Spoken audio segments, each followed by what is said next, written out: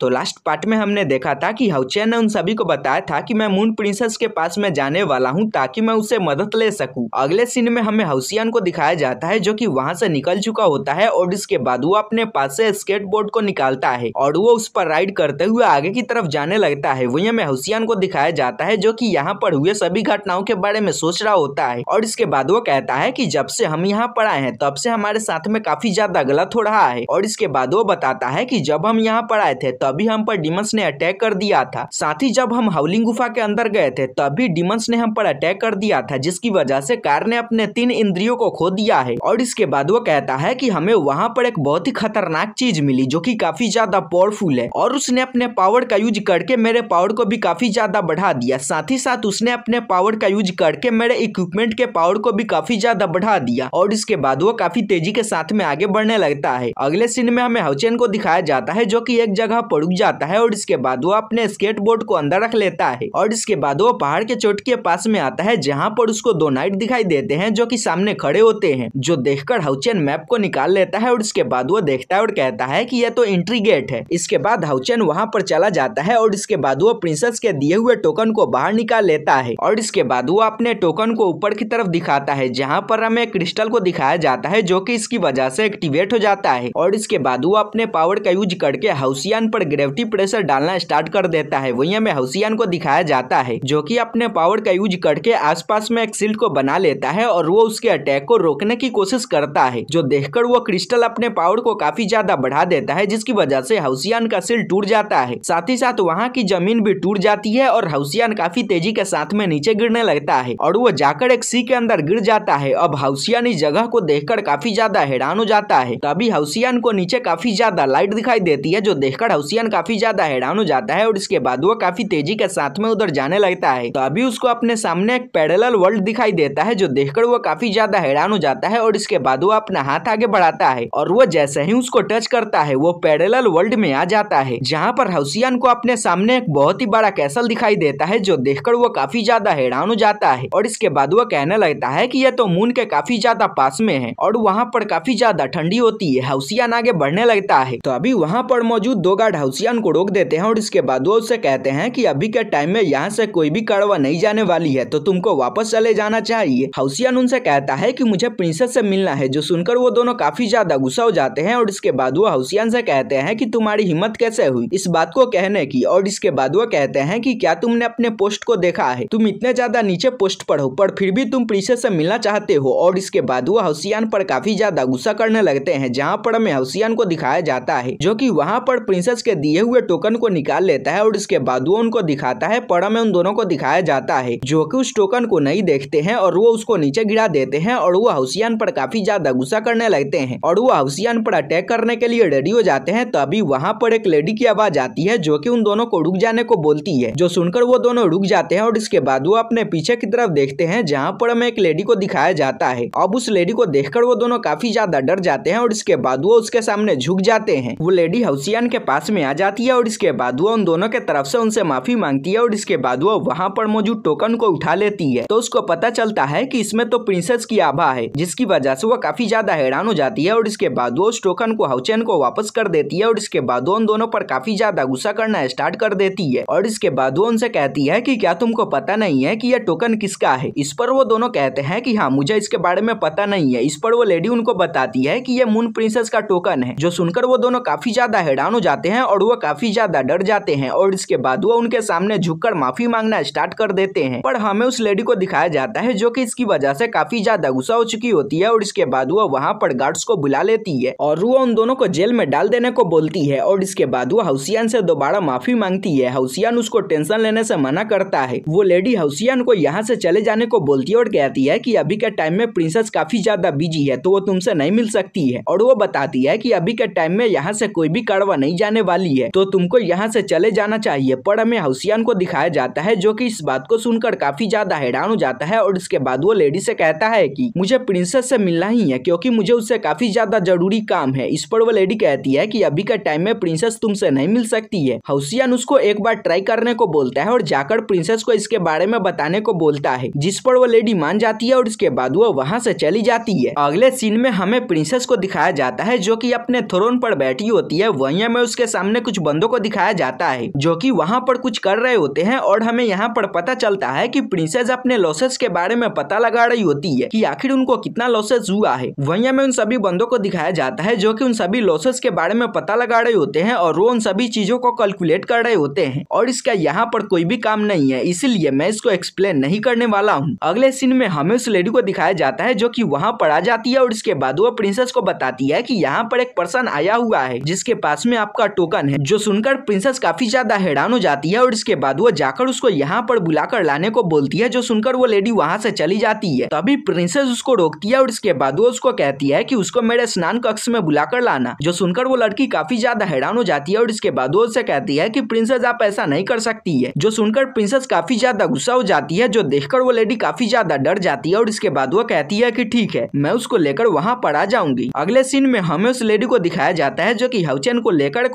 फुलवाड़ी में आई होती है, वही हमें वहाँ पर कुछ लड़कियों को दिखाया जाता है जो की हाउसियान के ब्यूटी को देखकर काफ़ी ज़्यादा हैरान हो जाती है और इसके बाद वो कहने लगती है की इसी की वजह से प्रिंसेस ने अभी तक दूसरे प्रिंस को हाँ नहीं किया है। सच में लड़का काफ़ी ज़्यादा सुंदर है और ये प्रिंसेस के लायक है। अगले सीन में हमें उस लेडी को दिखाया जाता है जो कि हाउसियान को आगे जाने को बोलती है, जो सुनकर हाउसियान वहाँ पर मौजूद गेट के अंदर एंटर कर जाता है। हाउसियान अपने सामने के नजारे को देखकर काफ़ी ज़्यादा हैरान हो जाता है, क्योंकि यह नज़ारा काफ़ी ज़्यादा अच्छा होता है। चारों तरफ़ फुलवाड़ी होती है और यहाँ पर काफ़ी ज़्यादा अच्छा सुगंध आ रहा होता है, तभी वहाँ पर प्रिंसेस की आवाज़ आती है और वो हाउसियान से कहती है कि मुझे उम्मीद नहीं थी कि तुम इतनी जल्दी मुझसे मिलने के लिए आ जाओगे। जो सुनकर हाउसियान उस तरफ़ देखता है, जहाँ पर वो देखता है की प्रिंसेस नहा रही होती है, जिसकी वजह से वो काफ़ी ज़्यादा हैरान हो जाता है और इसके बाद वो प्रिंसेस से कहता है की मुझे उम्मीद नहीं थी की तुम मुझे यहाँ पर बुलाओगी और इसके बाद वो अपने मुँह को दूसरी तरफ़ घुमा लेता है। वैसे तो यहाँ पर काफ़ी ज़्यादा बकवास होती है, पर मैं इसको शॉर्ट में एक्सप्लेन कर दूँगा। प्रिंसेस उसको उसकी तरफ़ देखने को बोलती है पर में हाउसियान को दिखाया जाता है, जो की उसके तरफ़ नहीं देखता है। प्रिंसेस उसे पूछती है की, आखिर तुमको ये जगह कैसा लगा? हाउसियान बताता है की हाँ ये जगह काफ़ी ज़्यादा सुंदर है। प्रिंसेस बाहर जाती है और इसके बाद वो जाकर अपने थ्रोन पर बैठ जाती है और इसके बाद वो हाउसियान से कहती है कि, तुम काफ़ी ज़्यादा थक चुके होगे तो तुम मेरे बगल में आकर बैठ सकते हो। पर में हाउसियान को दिखाया जाता है, जो कि उसको मना कर देता है। जो सुनकर प्रिंसेस काफ़ी ज़्यादा गुस्सा हो जाती है और इसके बाद वो हाउसियान से कहती है कि, आखिर तुमको कार्ड में क्या दिखाई देता है, जो कि मुझमें नहीं है? हाउसियान उससे कहता है कि मैं उससे प्यार करता हूँ, जिसकी वजह से मैं तुम्हारे साथ में रिलेशन में नहीं आ सकता हूँ, जिस पर प्रिंसेस काफ़ी ज़्यादा हैरान हो जाती है और उसके बाद वो उसे कहती है कि तुम्हारे बातों पर कौन विश्वास करेगा। हाउसियान उससे कहता है कि अगर तुम्हें मेरे बातों पर विश्वास करना है तो करो, या फिर ना करो। प्रिंसेस हाउसियान के बातों की वजह से काफ़ी ज़्यादा गुस्सा करने लगती है और इसके बाद वो वहाँ पर मौजूद एक फूल को तोड़ लेती है और इसके बाद वो उसको कुचलना स्टार्ट कर देती है, जिसकी वजह से उसके हाथ से ब्लड आना स्टार्ट हो जाता है, जो देखकर हाउसियान काफ़ी ज़्यादा हैरान हो जाता है और इसके बाद वो कहता है कि तुम्हारा खून तो लाल है। इस पर प्रिंसेस कहती है कि हाँ ये काफ़ी ज़्यादा रेयर स्टेज है, क्योंकि डिमंस का खून लाल नहीं होता है। पर मैं एक हाइब्रिड हूँ, जिसकी वजह से मेरा खून लाल है। और इसके बाद प्रिंसेस उसको बताती है कि जब मैं यहाँ पर पैदा हुई थी तो मुझको सभी लोगों ने नकार दिया था। यहाँ तक कि मेरे फादर ने भी मुझको नकार दिया था, क्योंकि मैं तो ना एक ह्यूमन हूँ, न ही एक डीमन हूँ, जिसकी वजह से मुझे सभी लोगों ने नकार दिया। हाउसियन प्रिंसेस की बातों को सुनकर काफ़ी ज़्यादा हैरान हो जाता है और उसको प्रिंसेस के लिए काफ़ी ज़्यादा बुरा लगने लगता है।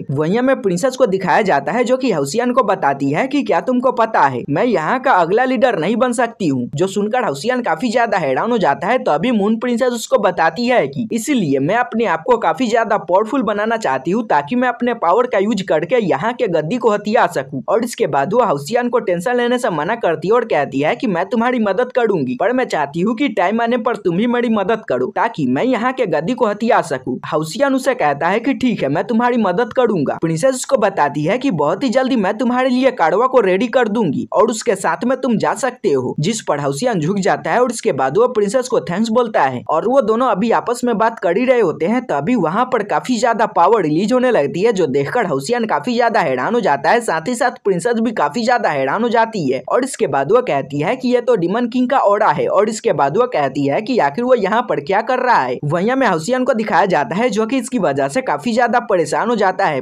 प्रिंसेस भी इस बात से काफ़ी ज़्यादा परेशान होती है और इसके बाद वो हाउसियान को जल्दी कुछ करने को बोलती है और उसको यहाँ से जाने को बोलती है, जो सुनकर हाउसियान हवोयू के साथ में कॉन्ट्रैक्ट बनाने की कोशिश करता है, पर वो ऐसा नहीं कर पाता, जिसकी वजह से वो काफ़ी ज़्यादा परेशान हो जाता है जिसकी वजह से वो भी काफ़ी ज़्यादा परेशान हो जाती है, जो देखकर हुसैन काफ़ी ज़्यादा हैरान हो जाता है और इसके बाद वो उसे कहता है की, आखिर तुम इतनी ज़्यादा परेशान क्यों हो? क्या मेरे यहाँ पर रहने से कोई प्रॉब्लम है? प्रिंसेस उसको बताती है की, यहाँ पर कोई भी मर्द नहीं है और अगर तुम यहाँ पर रहोगे तो मेरे फादर इसकी वजह से काफ़ी ज़्यादा गुस्सा हो जाएँगे और हो सकता है कि वो तुमको मार भी सकते हैं। तो अभी वहाँ पर एक लेडी आ जाती है और इसके बाद वो प्रिंसेस को बताती है कि डिमन किंग यहाँ पर आने वाला है, जिसकी वजह से आपको उसके सामने एक नृत्य पेश करना होगा, जो सुनकर प्रिंसेस कहती है कि ठीक है तो अभी उसके माइंड में एक आइडिया आता है और इसके बाद वो वहाँ पर मौजूद एक लेडी को अपने पास में बुलाती है और इसके बाद वो उसे कहती है कि तुम जाकर मेकअप रूम में मेरा इंतज़ार करो, मैं बहुत ही जल्दी वहाँ पर आने वाली हूँ और इसके बाद वो कहती है कि मैं हाउसियान को एक लेडी बनाने वाली हूँ, ताकि उसको कोई भी पहचान न सके। जो सुनकर हसियन काफ़ी ज़्यादा हैरान हो जाता है और उसके बाद वो कहता है कि मैं एक लेडी नहीं बनने वाला हूँ। और ये एपिसोड यहीं पे खत्म हो जाता है। तो गाइस ये एक्सप्लेनेशन थोड़ा सा इधर उधर होगा। तो आप लोग मैनेज कर लेना। तो चलिए मिलते हैं अगले एपिसोड में।